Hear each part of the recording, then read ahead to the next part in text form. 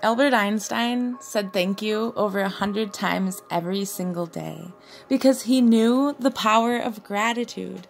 Because gratitude is literally a superpower. So, this is your reminder to say thank you so often. Love, light, and blessings to all always.